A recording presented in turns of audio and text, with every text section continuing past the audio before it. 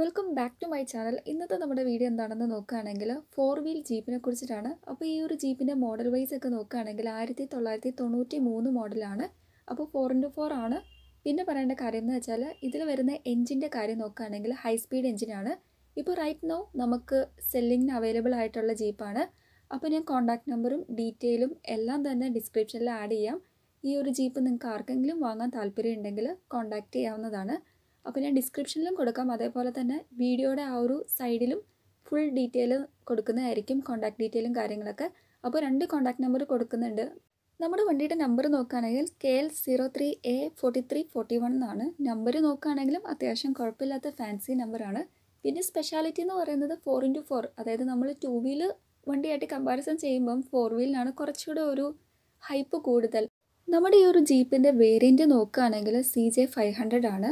അപ്പോൾ four wheel എന്ന് വെച്ചാലും ടു വീൽ എന്ന് വെച്ചാലുള്ള ആ ഒരു വ്യത്യാസം നിങ്ങൾക്ക് എല്ലാവർക്കും അറിയാമായിരിക്കും എങ്കിലും ഞാൻ ജസ്റ്റ് പറയുന്നത് മാത്രമേ ഉള്ളൂ. അതായത് ഫോർ വീൽ എന്ന് പറയുമ്പോൾ തന്നെ ഫസ്റ്റ് തന്നെ നമ്മുടെ മനസ്സിൽ ഓർമ്മ വരുന്നത് ഇനിയിപ്പം ഏത് ടെറൈനിലാണെങ്കിലും കുറച്ച് മഡൊക്കെ ഉള്ള ഒരു ഏരിയയിൽ അല്ലെങ്കിൽ ചെളിയിലൊക്കെ നമ്മുടെ ആ ഒരു ജീപ്പ് കുറച്ച് ഒന്ന് ടയറൊക്കെ ഒന്ന് താന്നു പോകുന്ന ആ ഒരു സിറ്റുവേഷനിൽ നമുക്ക് ഫോർ വീലാണെങ്കിൽ വളരെ ഈസി ആയിട്ട് ആ ഒരു ചേഞ്ച് മോഡ് ചെയ്തിട്ട് നമുക്ക് വണ്ടി അങ്ങ് എടുക്കാൻ പറ്റും.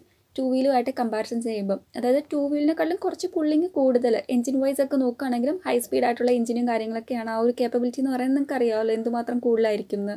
എക്സ്റ്റീരിയർ വൈസ് നോക്കുകയാണെങ്കിൽ പെയിന്റും കാര്യങ്ങളൊക്കെ നിങ്ങൾക്ക് ഈ ഒരു വീഡിയോയിൽ കാണാൻ പറ്റുന്നുണ്ടായിരിക്കും. നിങ്ങൾക്ക് തന്നെ അറിയാമല്ലോ അത്യാവശ്യം നല്ലൊരു നീറ്റ് ആൻഡ് ക്ലിയർ ആയിട്ടുള്ള ഒരു എക്സ്റ്റീരിയർ ആണ്. അതേപോലെ തന്നെ ഈ ഒരു ജീപ്പിൽ പിന്നെ പറയേണ്ട കാര്യം എന്ന് വെച്ചാൽ ഞാൻ പ്രീവിയസ്ലി പറഞ്ഞതന്നെ ആ ഒരു four വീലും C J five hundred variant പിന്നെന്താ? നമ്മുടെ ആ ഒരു കാര്യങ്ങളൊക്കെ നോക്കുകയാണെങ്കിൽ ഇതൊക്കെ ഉള്ളൂ. ഒരുപാട് ഡീറ്റെയിൽ ആയിട്ടൊന്നും പറയേണ്ട ആവശ്യമില്ല. ഒരു സി ജെ ഫൈവ് ഹൺഡ്രഡ് എന്നൊക്കെ പറയുമ്പോൾ എല്ലാവർക്കും അറിയാം. അതിന്റെ ആ ഒരു ഡിമാൻഡ് പിന്നെ എഞ്ചിൻ വൈസ് നോക്കുകയാണെങ്കിൽ ഹൈ സ്പീഡ് എഞ്ചിൻ അതിന്റെ ആ ഒരു സ്പെഷ്യാലിറ്റി എല്ലാം മിക്ക ആൾക്കാർക്കും തന്നെ അറിയാം. അതാണ് ഒരു ഫോർ വീൽ ജീപ്പ് കം ആ ഒരു വേരിയന്റും അതേപോലെ തന്നെ ആ ഒരു എഞ്ചിന്റെ കേപ്പബിലിറ്റിയും അത് തന്നെയാണ് ഈ ഒരു വണ്ടിയുടെ ഹൈലൈറ്റ് എന്ന് നമുക്ക് ഒറ്റ വാക്കിൽ തന്നെ പറയാൻ പറ്റും.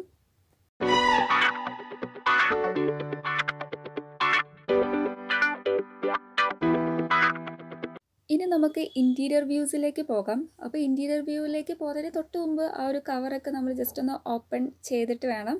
ദെൻ ആസ് യൂഷ്വൽ ഒരു ജീപ്പിൽ കാണുന്ന പോലത്തെ ആ ഒരു ഫെസിലിറ്റീസും കാര്യങ്ങളൊക്കെ തന്നെയുള്ളൂ ഈ ഒരു ജീപ്പിലും ഇന്റീരിയർ വൈസ് നോക്കുകയാണെങ്കിൽ നമ്മുടെ ആ ഒരു സ്റ്റിയറിങ്ങും അതേപോലെ തന്നെ സ്റ്റിയറിങ്ങിന്റെ ആ ഒരു മിഡിൽ ഭാഗത്ത് മഹേന്ദ്രയുടെ പണ്ട് മുതലുള്ള ആ ഒരു ലോഗോയും കാര്യങ്ങളും. പിന്നെ സീറ്റിംഗ് നോക്കുകയാണെങ്കിലും നോർമൽ ആയിട്ടുള്ള ഒരു സീറ്റിംഗ് ആണ്. നമുക്ക് എക്സ്ട്രാ കൂടുതലൊന്നും ഇതിൽ ചെയ്തിട്ടൊന്നുമില്ല. ആ ഒരു ബ്ലാക്ക് കളേർഡ് ആയിട്ടുള്ള ഒരു സീറ്റിങ്ങും കാര്യങ്ങളൊക്കെയാണ് ഇതിലുള്ളത്.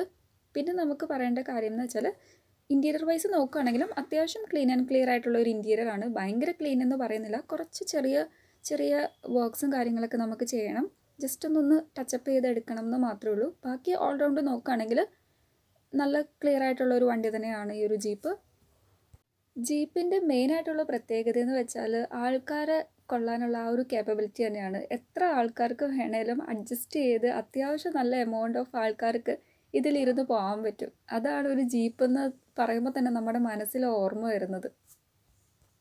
അടുത്ത രണ്ടാമത്തെ സെക്കൻഡ് തിങ് എന്ന് വെച്ചാൽ ഒരു ഓഫ് റോഡിംഗ് എന്നൊക്കെ കേൾക്കുമ്പോൾ തന്നെ നമ്മൾ ഫസ്റ്റ് തന്നെ ആ ഒരു ഓഫ് റോഡ് എന്നുള്ള വേർഡിൽ തന്നെ നമ്മൾ മനസ്സിലാക്കുന്ന അല്ലെങ്കിൽ നമുക്ക് ഓർമ്മ വരുന്നത് ആ ഒരു ജീപ്പ് ഓഫ് റോഡിംഗ് ഒക്കെ ആയിരിക്കും. ഇനിയിപ്പം അഡ്വഞ്ചർ ടൂറിസം ആണെങ്കിൽ എവിടെ വേണമെങ്കിലും അനായാസം നമുക്ക് ഒരു എന്താ പറയുക ഡിഫിക്കൽട്ടും ഇല്ലാതെ നല്ല രീതിക്ക് യാത്ര ചെയ്ത് പോകാൻ പറ്റുന്ന ഒരു വണ്ടിയാണെന്ന് നമുക്ക് ഒറ്റ വാക്കിൽ പറയാൻ പറ്റും അതൊന്നും ഞാൻ കൂടുതലായിട്ട് എടുത്തു പറയേണ്ട ആവശ്യമൊന്നുമില്ല. എല്ലാവർക്കും അറിയാവുന്ന കാര്യങ്ങളൊക്കെയാണ്.